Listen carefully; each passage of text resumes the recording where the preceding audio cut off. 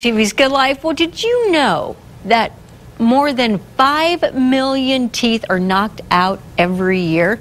What do you do if it happens to you? Well, our next guest is joining me, Dr. Stefan Zweig. He's the president of the American Association of Endodontists. Good morning, doctor. How are you this morning?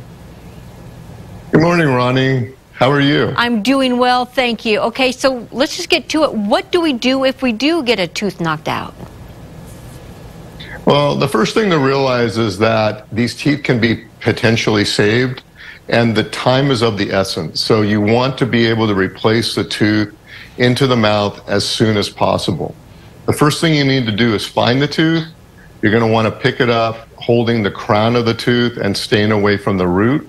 You want to make sure that the tooth is clean. Uh, you want to rinse it with a little bit of water or milk, and then you want to replace it into the mouth.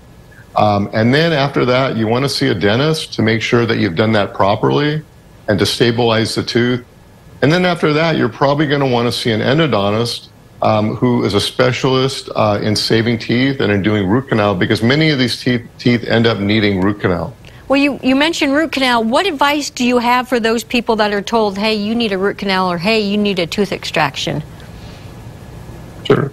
So the thing to realize is that a root canal is a procedure that's designed to save teeth as opposed to extracting teeth. And we know that many teeth are extracted unnecessarily because people are in pain and it's just sort of the you know the first thing that can be done. But these teeth can actually be saved. So if you're told that you need a tooth extraction, you should ask the dentist if there are any alternatives to actually saving the tooth. And a lot of times the alternative is to do root canal. And endodontists are specialists in doing root canals. They receive two years of additional training over their dental training to learn the technology and the intricacies and the expertise of doing root canals.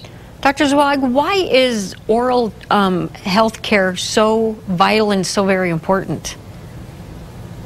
Oral health care is so important because we know that oral, the oral uh, health is you know, is tied to your overall health. And that happens on several different levels. We know that when people look at you, they look at your smile and they judge you by that, and it can affect your livelihood and it can affect the way you relate with other people.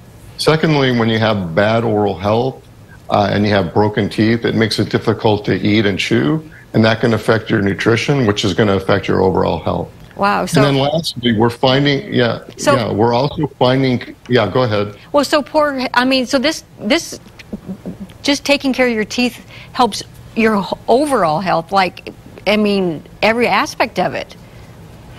It, it sure does. And we're also finding um, connections between oral health and other diseases in your body, such as diabetes, heart disease, and even oral cancer. Wow. So, Dr. Zweig, where can our viewers go for more information?